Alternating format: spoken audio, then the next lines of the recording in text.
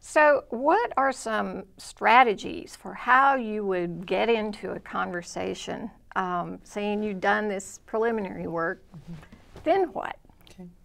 Thank you uh, for that question. Um, well, let me just first say the strategy is not outside of the bounds of one's spirituality.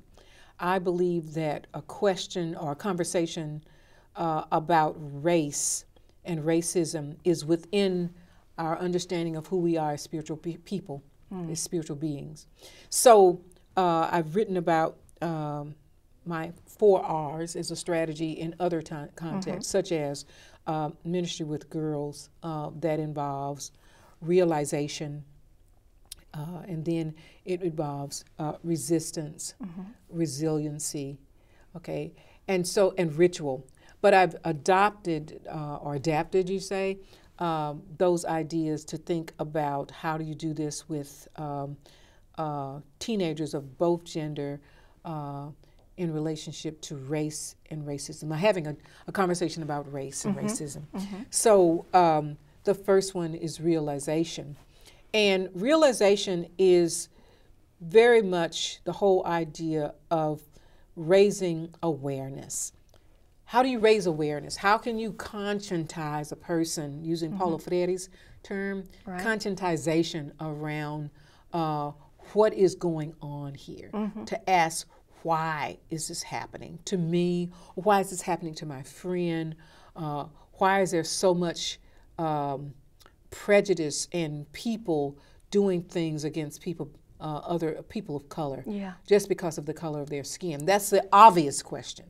But then realization even pushes us to think about uh, the subtle uh, mm-hmm.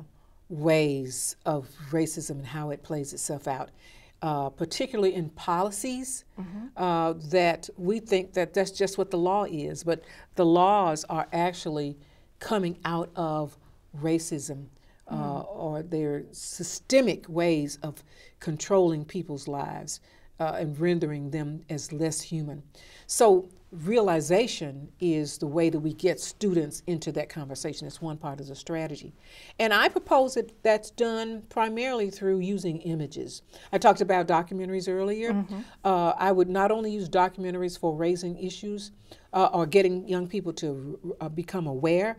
Mm-hmm. Of, of, issues of systemic racism, but also a way of um, uh, we could also use rather uh, um, just images that come out of everyday life. I like commercials mm-hmm. because then you can see how uh, race, class, gender mm-hmm. kind of intersect uh, as you follow where the money is going and who's producing this for what mm-hmm. reason. Um, there are a number of, uh, of commercials out there that get us to think about that, and especially in especially in a post-racial society where you have um, this understanding that now we don't have to be concerned about issues of race. We have a biracial president, and we're beyond race. Uh, there's no concern to be asking these types of questions, mm-hmm. but yet there is a concern. So you can actually use images that supposedly are um, signs of being in a colorblind society mm-hmm. to help young people raise questions and begin to become aware of some of the systemic issues that have shaped policies that come out of a racist ideology.